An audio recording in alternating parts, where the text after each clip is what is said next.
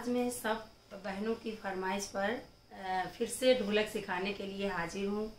तो चलिए, देर ना करते हुए वीडियो स्टार्ट करती हूँ। तो ये जैसा कि आप लोग जानते हैं, ये उंगलियों वाला हिस्सा है और ये थापी वाला हिस्सा है। और इस पर थापी बसती है और इस पर टाँची बसती टाँची, थापी इसको बोलते हैं, टाँची इसको बोलते हैं। तो चलिए स्टार्ट करते हैं, देखिए। इन उंगलियों को आप एक दो एक दो एक दो एक दो करके बजाएँगे। कंटिन्यू हो जाएगी तो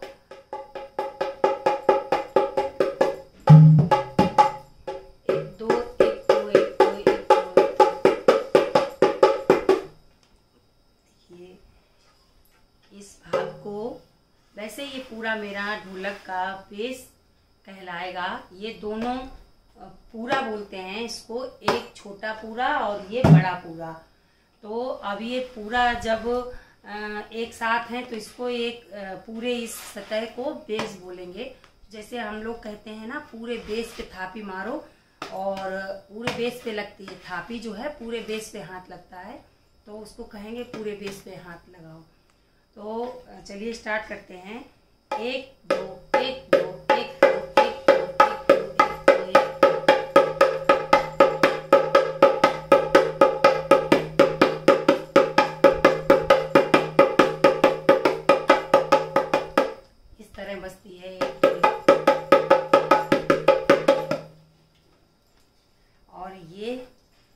इस भी लगती है।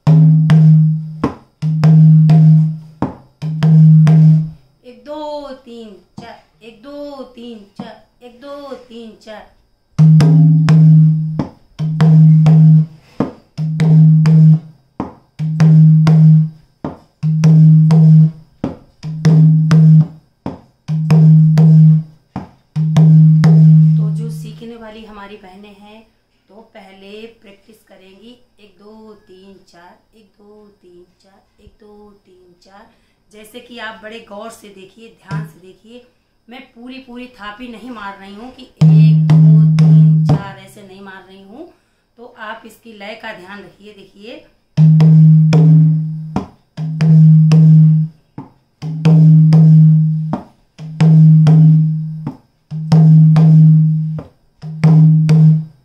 तो इस तरह से मारेंगे इसको।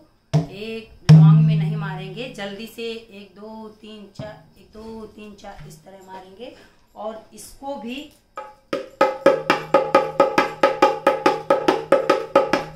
इस तरह बजाएँगे। तो देखिए, दोनों एक साथ हाथ आप लोग देख लीजिए। देखिए, ये बॉलीवुड स्टाइल भांगड़ा भी कहेंगे, धागे नाती नकदीना ही चलती है। बहुत ही जल्दी सीखने वाली है ये ढोलक। आप दो मिनट में अगर ध्यान से सीखेंगे कि आने को होगा तो एक दो मिनट में ही आ जाएगी। तो चलिए ध्यान से मेरे हाथों की तरफ़ आप लोग देखिए। धागे न तीनक, दिन धागे न तीनक, दिन धागे न तीनक, दिन धागे। इसी ऐसी ही धुन निकलती है। देखिए।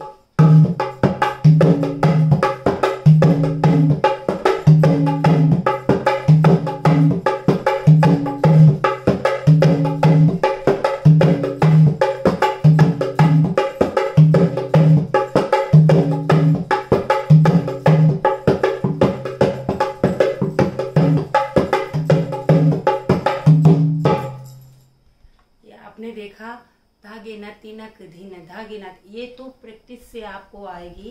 पहले तो आपको बेस पे हाथ चलाना सीखना होगा। तो आप पहले हाथ चलाएँगी तो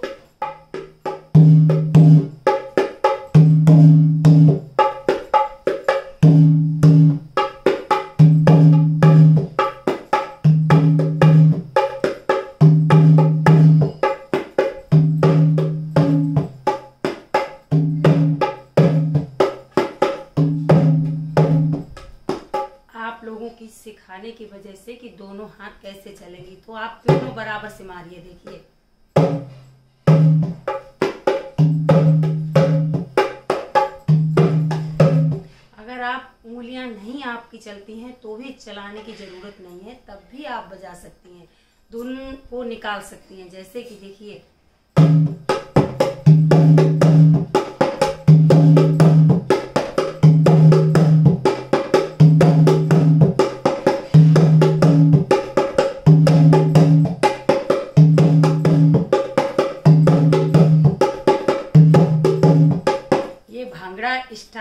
इसको भांगड़ा स्टाइल कहते हैं। अब इसी की जगह पर अगर कोई हम लेते हैं, जैसे कोई छड़ी अड़ी लेते हैं तो वो छड़ी बिल्कुल इसी उंगलियों की, जैसे जैसे मैंने मान लिए, तीन उंगली छड़ी हैं। तो देखिए, बिल्कुल छड़ी भी ऐसी, इसी तरह ढोल पे बजाते हैं, जिसको भांगड़ा बजता है, वही धुन है ये, देखिए।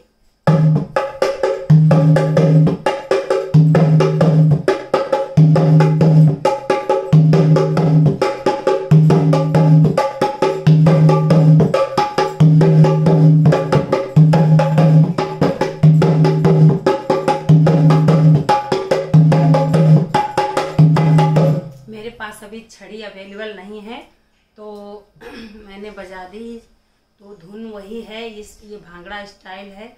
और भांगड़ा की ढोलक आप कहेंगे तो इसी तरह बजेगी।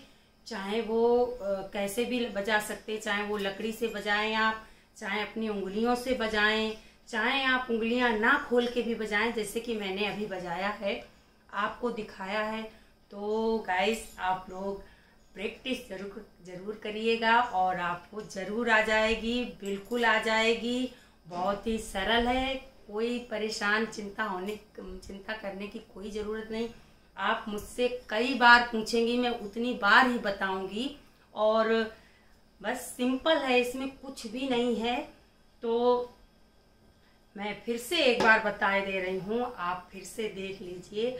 और आपको जो भी हेल्प होगी, मैं करूँगी। मैं चाहती हूँ आपको ढोलक सिखाना। मुझे बहुत अच्छा लगा, लगेगा कि मैं अपनी तरह किसी को ढोलक सिखा पाऊँ।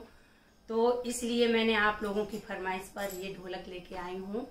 और इसकी बस यही है कि आप जब पहले तो आप हाथ चलाना सीखिए, फिर इसके बाद में खूब प्रैक्टिस करेंगी, फिर गाने के साथ आप गाती रहिएगा और फिर आप जब ज़्यादा प्रैक्टिस कर लेंगी तो अपने आप आप हाथ चलने लगेंगे और उसी गाने के अनुसार हाथ चलने लगेंगे।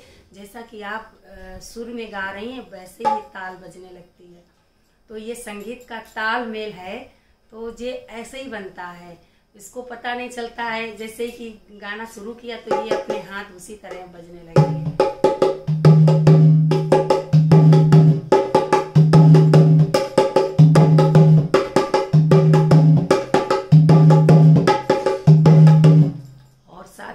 बजा सकते हैं।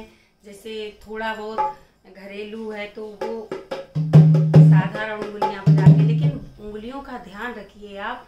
आप ऊपर से, नीचे की तरफ़ से आप ऊपर की तरफ़ ना ले जाएँ, नीचे की तरफ़। बस उसको ऐसे ऐसे करना है, ना चाहे ऊपर से ऐसे करके ऐसे करने की ज़रूरत है, ना तो आपको ऐसे करने की ज़रूरत है, उससे भी धुन अच्छी नहीं निकलेगी। ऊपर आप करेंगी तो ये निकलेगी, देखिए।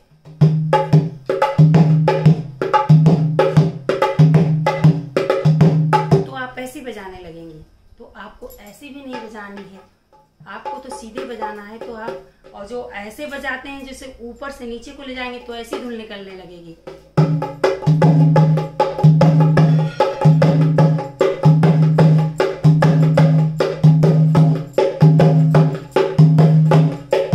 तो बहुत सी बहनें इस तरह से बजाती तो ये आप आ, मेरे ख्याल से तो आप ना करें। तो जैसे भी उंगलियाँ तो ढोलक पे जैसे भी चलाना चाहेंगी आप चल जाएँगी। लेकिन ये गलत तरीका है ये आ, कहते भांगड़ा स्टाइल में आप फिर नहीं बजा सकती।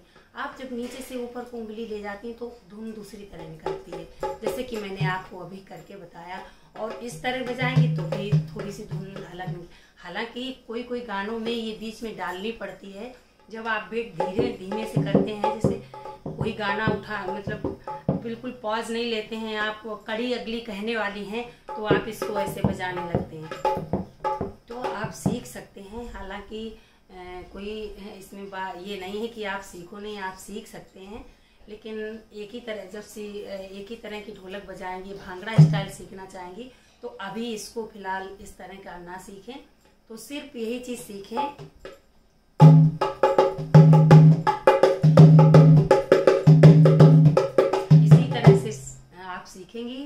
कई तरह की ढोलक बजा सकेंगी। और जैसा गाना होगा, वैसे आप ढोलक बजा सकेंगी। तो चलिए, आपको मेरा वीडियो ये कैसा लगा और आपको कैसा समझ में आया और आगे मैं आपको वीडियो और लाऊं तो आप मुझे कमेंट बॉक्स में बताइएगा आपको कैसा लगा। तो चलिए, अब ये वीडियो यहीं पे बंद करते हैं। और आपको कितना समझ में आया, क्या आपको नहीं, मैंने क्या एक्सप्लेन कर पाया। और आपको समझ में आया या नहीं एक्सप्लेन कर पाया, आप कमेंट बॉक्स में बताइए। तो मैं कोशिश करूँगी सुधारने की और आपको सिखाने की। तो चलिए हैं आप बंद करते हैं यहीं पर और जब आप बताएँगे तब मैं फिर से ऐसे स्टार्ट करूँगी। और अगर आपको अच्छा लगता है तो मेरे वीडियो को लाइक करिएगा और चैनल को सब्सक्राइब करिएगा। तो चलिए, अब चलते हैं। नमस्ते।